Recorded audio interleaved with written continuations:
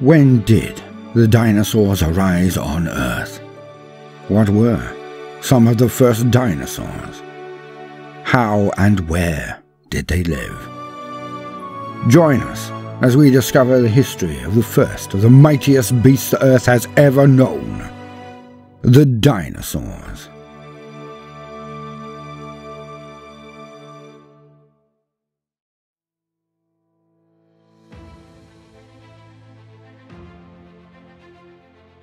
Triceratops. Triceratops is one of the most popular dinosaurs ever. But what do we know about this species so far? Let us take a look at its story, its history. Triceratops' name was derived from the Greek language, tri meaning three, and ceratops meaning horned face. Triceratops is a genus of plant-eating ceratopsid dinosaur, characterized by beaks, rows of shearing teeth in the back of the jaw, nasal horns, and a frill on the back of the head. Triceratops, Torosaurus, and Centrosaurus are only a few that belong to the more advanced ceratopsids group, the Chasmosaurinae. In 1887, George Lyman Cannon found the first Triceratops fossil specimen of a pair of brow horns attached to a skull roof near Denver, Colorado. This specimen was sent to the American paleontologist Othniel Charles Marsh. Initially, Marsh believed that the remains belonged to a large bison. He based his hypothesis on the fact that the bones were found in the formation dated from the Pliocene. Since the first discovery, more specimens ranging from hatchling to adult, have been found. Triceratops lived in the western part of North America in the last 3 million years of the Cretaceous period, around 68 to 66 million years ago. It was one of the last non-avian dinosaurs to evolve. Triceratops was a very large animal, reaching 8 to 9 meters or 26 to 30 feet in length and 5 to 9 tons in weight. It retained short hands with three hooves each, and short feet with four hooves each. It walked on all fours, with most of their fingers pointing out and away from the body. Triceratops's body weight was carried by only the first three fingers of the hand, whilst digits 4 and 5 had not developed and lacked claws or hooves.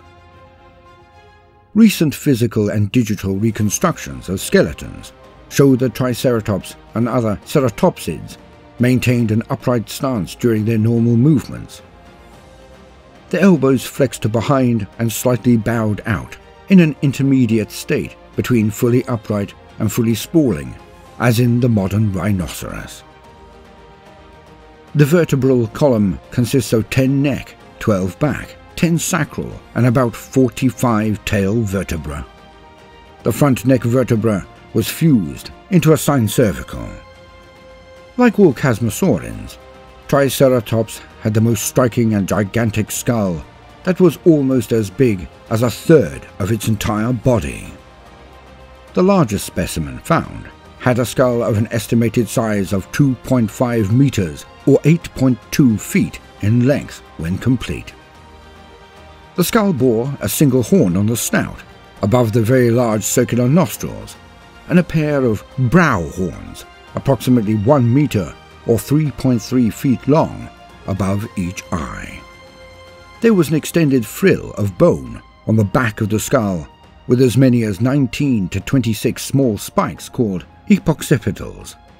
Smaller horn-like spikes were also on the jugal or cheekbones.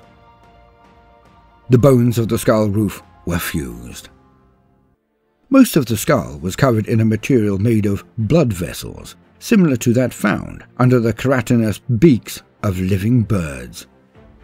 This suggests that the dinosaur's entire head, aside from the cheeks and the area around the nostrils, was covered in keratin while it was still alive. Many modern birds have very colourful keratin, suggesting that Triceratops's skull may also have been full of colour. Even though the Triceratops was quite a large animal, it was prey to predators such as Tyrannosaurus rex. A partial Triceratops fossil collected in 1997 shows a bitten off horn. The bite marks match that of Tyrannosaurus teeth. Fortunately for the affected Triceratops, its injuries healed after being bitten and the animal survived the attack. Encounters may not always have happened between different animals. As another piece of fossil shows puncture marks on male Triceratops frills, it is possible the species use their horns to fight each other, probably to attract mates. Triceratops is mainly known from skulls found from different skeletons from embryos to adults. It shows how the skull, especially the frill, would undergo dramatic changes in shape throughout its life. Triceratops had a parrot-like beak. The upper and lower jaws were lined with stacked columns of 400 to 800 shearing teeth, arranged in batteries. The worn teeth were constantly replaced with new ones. Only a small percentage of these teeth were in use at any one time. Triceratops was a herbivore, and its diet would have consisted mostly of shrubs and other low-lying vegetations. It may have used its body strength or horns to crop larger plants such as palms, cycads, or tree ferns in order to get their fruit or leaves. This vegetation was quite tough to chew and fibrous, and would have taken a lot of processing and digesting. Other ceratopsians, the horned dinosaurs, are known from bone beds preserving carcasses from two to hundreds or even thousands of individuals. This is not the case for Triceratops. Although small groups of juvenile Triceratopses have been discovered in the Hells Creek Formation in Montana, USA.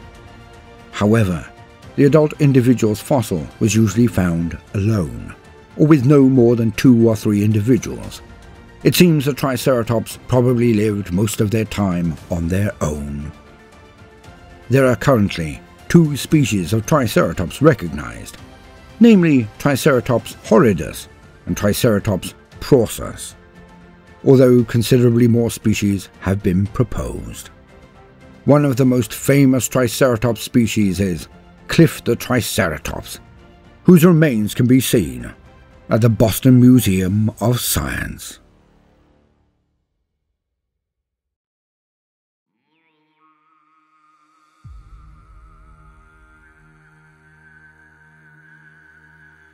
Oviraptor The discovery of the first Oviraptor Philoceratops occurred during one of the Central Asiatic expeditions organized by Roy Chapman Andrews in the 1920s and funded by the museum. Olsen, one of the team members, discovered a skeleton of the adult Oviraptor in a bed of red sandstone in Sabarak Usul, the Gobi Desert, Mongolia. The fossil was taken back to the museum for further examination. Osborn, who himself was a paleontologist and president of the museum at the time, published an article on the specimen in 1924. He argued that the specimen was unique and deserved a new species designation and named them Oviraptor philoceratops, from the Latin term egg and robber. Only four inches of sandstone separated the adult skull from the eggs initially thought to belong to Protoceratops, an early ceratopsian horned dinosaur. It was hypothesized that the oviraptor died in a sandstorm while attempting to rob a nest for nutritious eggs. The theory was based on the fact that it was common to find Proceratops fossils and their eggs in the area. However, it wasn't possible to prove it, as there were no exposed embryos in these eggs. The reputation of the oviraptor as an egg thief continued. Scientists from Poland and Russia questioned the association between Proceratops and these eggs. In 1993, a team led by Mark Norell recovered the skeleton of an embryo also in the Gobi Desert, but at a site called Ukhaa Tolgod. The nearly complete embryo was one of a large nest that had approximately 20 eggs. The eggshells were studied under a microscope and have shown that scientists were correct in their apprehension. The embryo was not ceratopsian, but theropod. Further discoveries of several other oviraptor skeletons that were found on the top of nests of eggs in a brooding position, exactly in the way ground nesting modern birds do today, confirming that these dinosaurs were good parents. Its eggs were about the size of a hot dog bun. Oviraptor philoceratops was a dinosaur that resembled birds in many ways. It was small, about two meters or six and a half feet long, a lightly built predatory or omnivorous dinosaur. Its weight is estimated at 20 kilograms, or just over three stones. The head was short and deep, with large eye sockets surrounded by a bony ring. It had a toothless beak at the end of the well-muscled and curved jaws. A hollow crest on the top of its head contained a large basal cavity. The skull's fossil suggests that the crescent comes in variation in size and shape, possibly as a sign of maturity, or even different species. The crest was similar in structure to those in many hadrosaurs or duck-billed dinosaurs.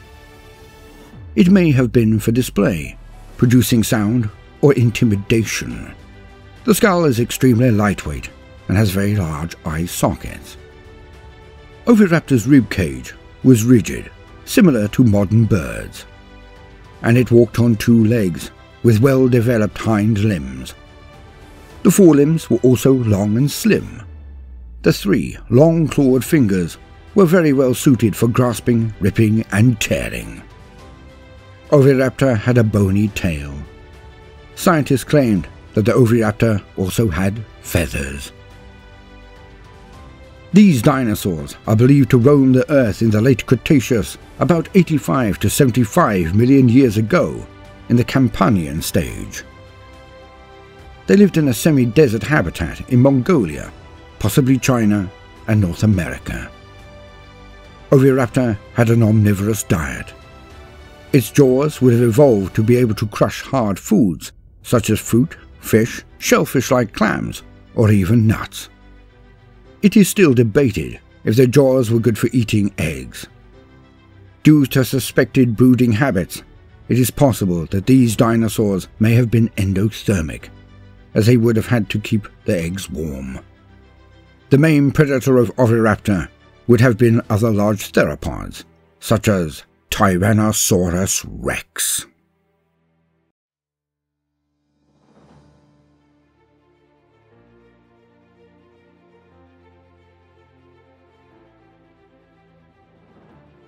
Iguanodon It is recorded that the first discovery of an iguanodon fossil was made by Mary Ann Mantell and her husband, Dr. Gideon Algernon Mantell, in Sussex, England, in 1822. While waiting for her husband, who was visiting a patient in the village, Mary noticed something gleaming by the side of the road and decided to investigate it. The pile of stones was left there to be used to mend a road.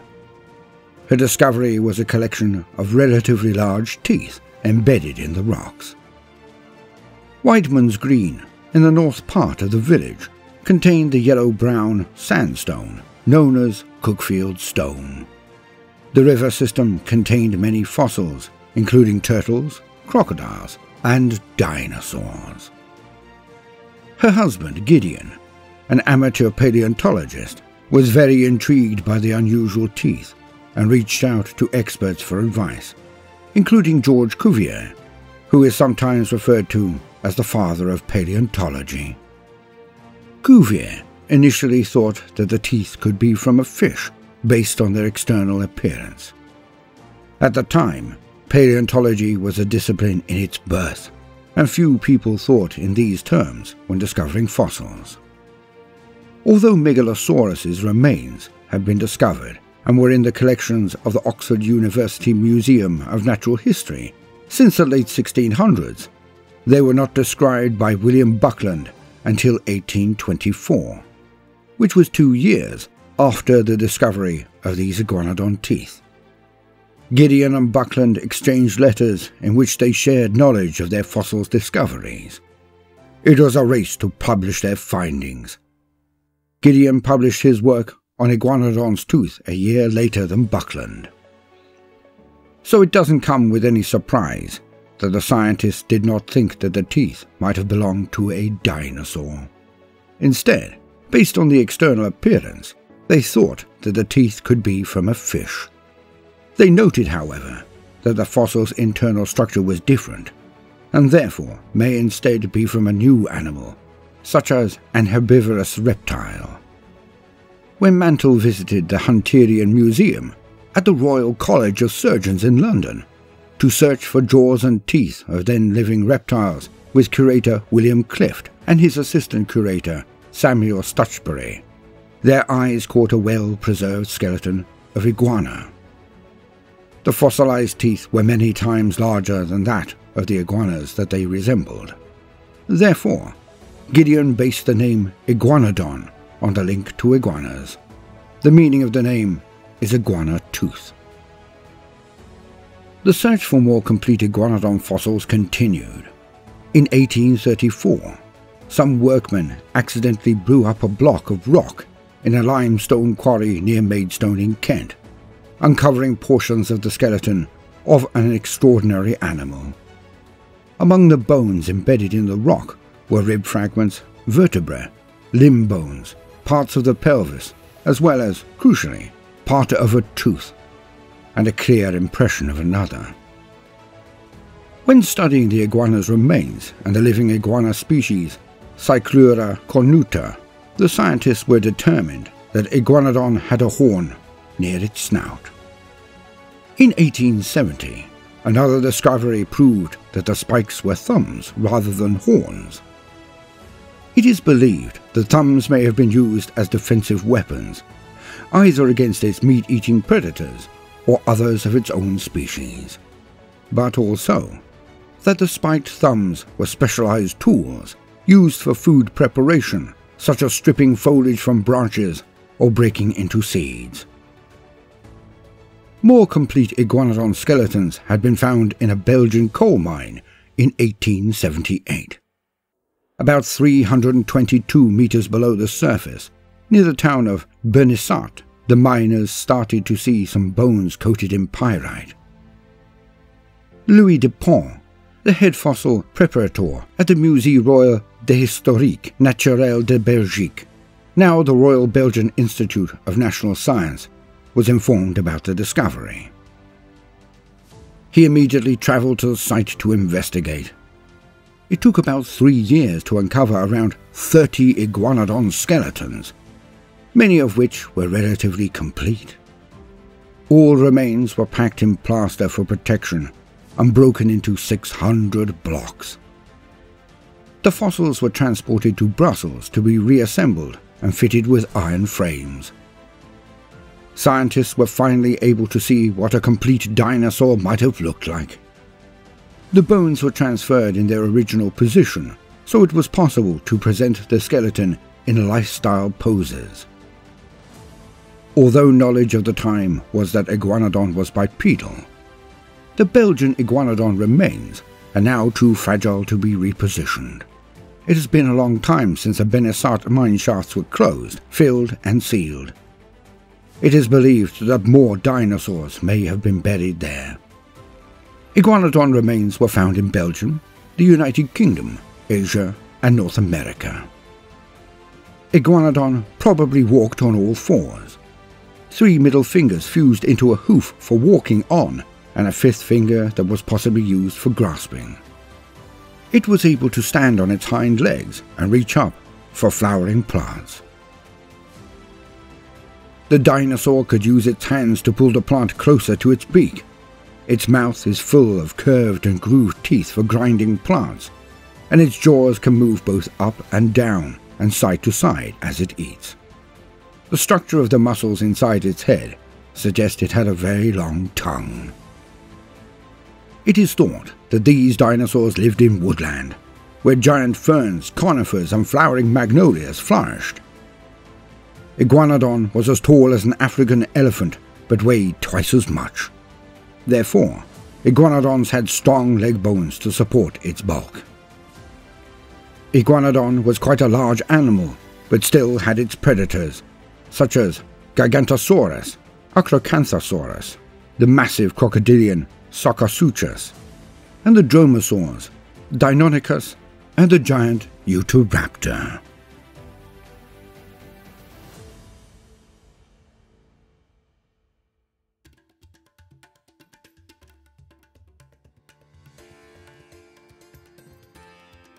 Bruhathkayosaurus At the late Cretaceous period, the sauropods were no longer the principal herbivores, as the ornithopods took over from them.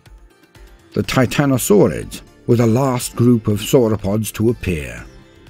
They flourished, spreading primarily over southern continents, with only some example of northern lands. Titanosaurids' name was taken from the Titans, giants in ancient Greek mythology. Despite their name, many Titanosauruses were small in size, sometimes reaching less than 12 meters or 40 foot in length. These gigantic sauropods are known from very incomplete remains. Only few titanosaurid skulls have been found. The skull fragments that we know show a wide, steeply sloping head and thin, peg-like teeth with tapering crowns. These dinosaurs walked on four legs, had long tails, long necks, and small heads.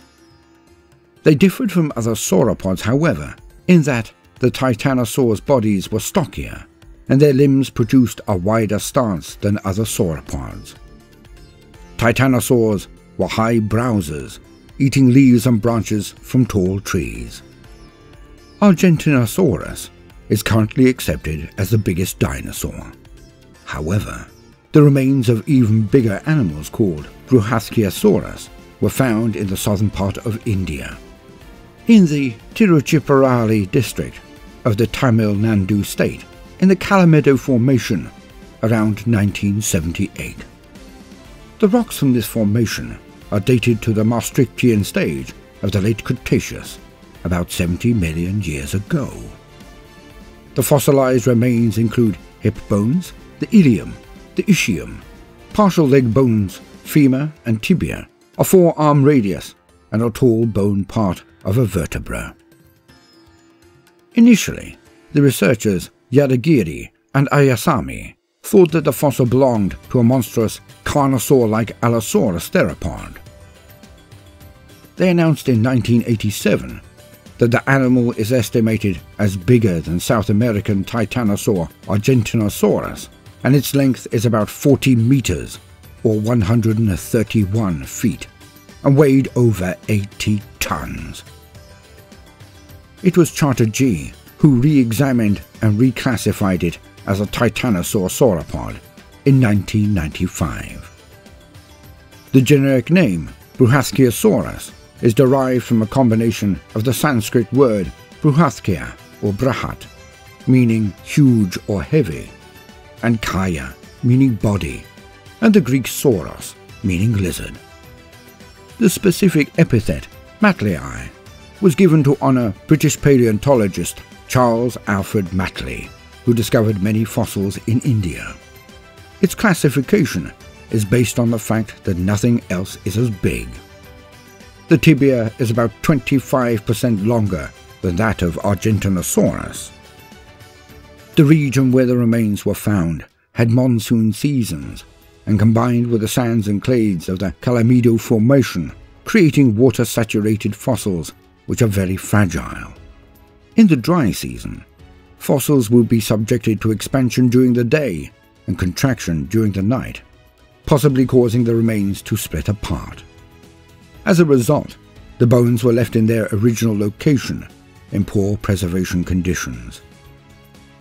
In 2017, Galton and Ayyasami reported that the Bruhathkayosaurus fossils started to crumble inside their field jackets before the scientific agency, the Geological Survey of India, reached them, and the evidence no longer exists.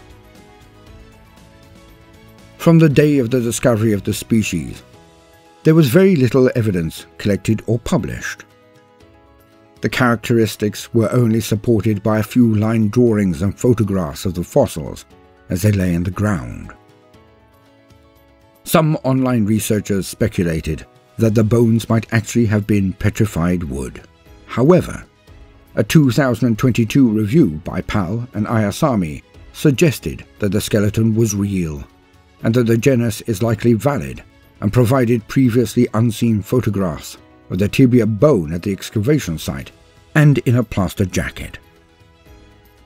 As the only known remains of Bruhathkayosaurus have been lost, the validity of the genus and its estimated size are under question. The lack of physical evidence puts Bruhathkayosaurus as an indeterminate sauropod or as a nomen dubium.